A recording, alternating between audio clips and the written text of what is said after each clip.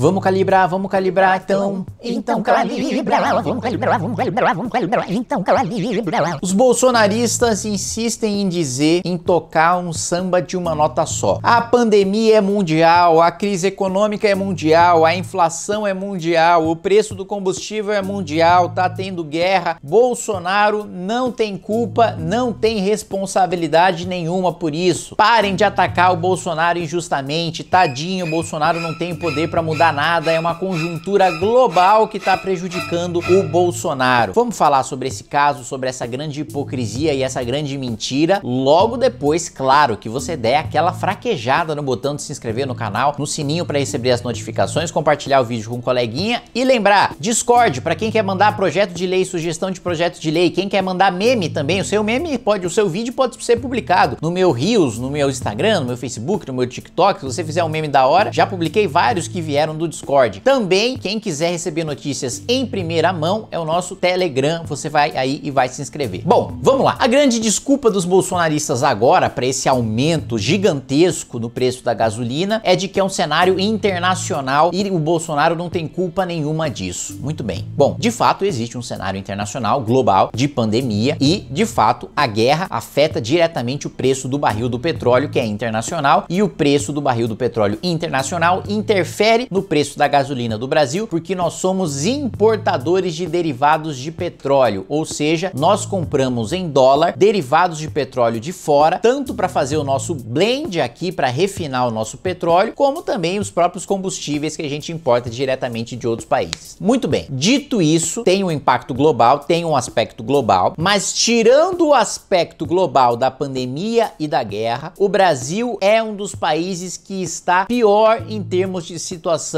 econômica, política e também no preço dos combustíveis. Isso é fato. Vou pedir para o editor colocar na tela, mostrar a desvalorização do real em 2020. O real em 2020 foi uma das moedas que mais se desvalorizou, se não aqui mais se desvalorizou no mundo inteiro. Oh my God! Isso com o mundo inteiro tendo pandemia, tá bom? E que inclusive com países europeus e com os Estados Unidos e a Austrália e o Japão adotando medidas muito mais restritivas em relação à pandemia do que o Brasil. Que o discurso do Bolsonaro é esse, né? É, eu não fechei nada. Os governadores mandaram fechar, os prefeitos mandaram fechar. A culpa da economia é deles que mandaram para fechar e a economia a gente vê depois. Pois é, Europa, Estados Unidos, o Oriente, outros países que tomaram medidas mais restritivas ainda, que fecharam, fizeram lockdown de verdade, que no Brasil nunca teve lockdown. Lockdown é você tá proibido de sair de casa, só pode sair para farmácia, para supermercado. Isso nunca aconteceu no Brasil. Você sempre pôde sair e circular livremente, desde que utilize máscara e etc. O que teve foi restrição de funcionamento de comércio, de restaurante, de bar, etc. Isso sim, proibição de festa, de aglomeração, isso teve. Agora, lockdown nunca teve. Outros países do mundo que fizeram lockdown tiveram um crescimento econômico maior do que o Brasil em 2021, tem uma expectativa maior do que o Brasil para 2022, estão com inflação menor do que o Brasil em 2021 e 2022 e tiveram inflação menor em 2020 também. Então vamos parar com essa mentira, com esse papinho furado de que a culpa é dos governadores ou de que a culpa é do mundo inteiro que tá vivendo uma mesma situação e que o Brasil tá só igual ou tá melhor do que em outros países. Vamos pegar, eu peguei um gráfico aqui muito interessante para mostrar para vocês, vocês vão ver aí comigo, o editor vai colocar na tela, sobre o preço de um tanque cheio de gasolina, um tanque de gasolina em relação à porcentagem do salário médio mensal do trabalhador de cada um desses países. Olha só, olha só. No Canadá é 2.72%, é a porcentagem do salário que você usa para encher um tanque de gasolina. Nos Estados Unidos, 1.55%. No México, um dos maiores, 12.6%. Na Argentina, Argentina, a Argentina que assim, não só flertou com o precipício, como casou com o precipício, elegendo um esquerdista kirchnerista para a presidência da República. Mas mesmo a Argentina que tá na situação de Argentina, é só 14% só, entre aspas, 14% uh, uh, do salário que o sujeito usa para encher o tanque. Polônia, 9%, Noruega, 3.73%, França, que teve medidas mais restritivas, 5.07%, Austrália, 2.12%. A gente só tá perdendo praticamente ali para as Filipinas, para as Filipinas e para Albânia. Mas olhe lá que ainda ainda se bobear, se demorar um pouco mais, a gente consegue. Ou seja, levando em consideração o mundo inteiro, o mundo inteiro, o Brasil é o terceiro pior país em termos de preço de gasolina em relação ao salário médio mensal. 19,51% do salário médio mensal. A vontade de rir é grande, mas a de chorar é mais.